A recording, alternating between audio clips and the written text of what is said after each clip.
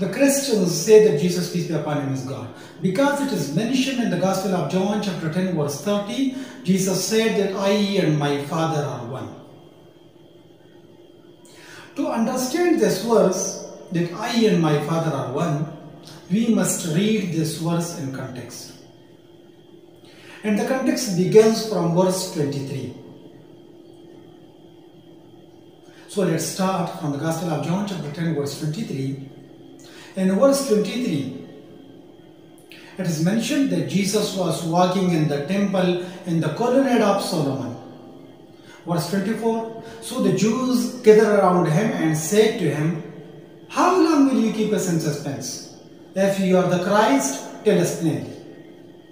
In verse 25, Jesus answered them, I told you and you do not believe.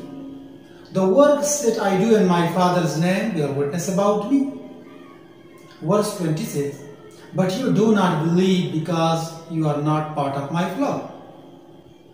Verse 27 My sheep hear my voice, I know them and they follow me. Verse 28 I give them eternal life, and they will never perish, and no one will snatch them out of my hand. In verse 29 my Father, who has given them to me, is greater than all, and no one is able to snatch them out of the Father's hand. Verse 30 I and my Father are one. So it is very clear that one in what? In their omniscience? No. In their omnipotence? No. In their nature? No.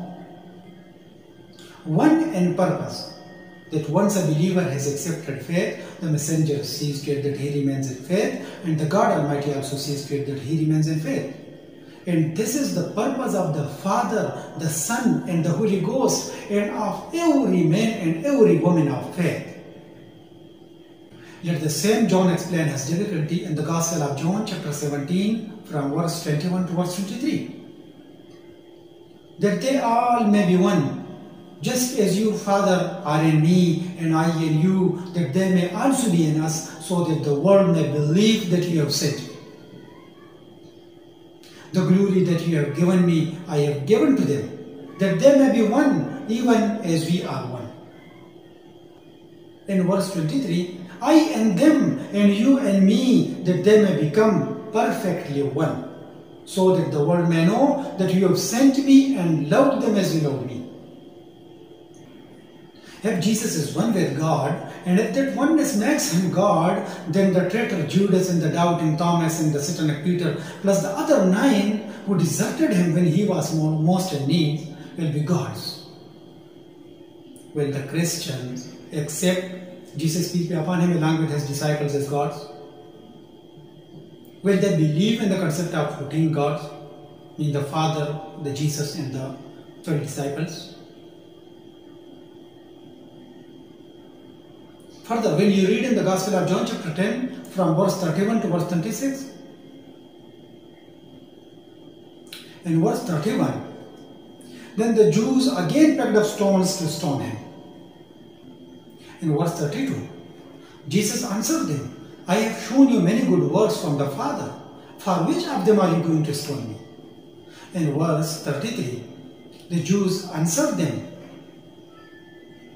it is not for a good work that we are going to stone you, but for the blasphemy, because you being a man make, make yourself God.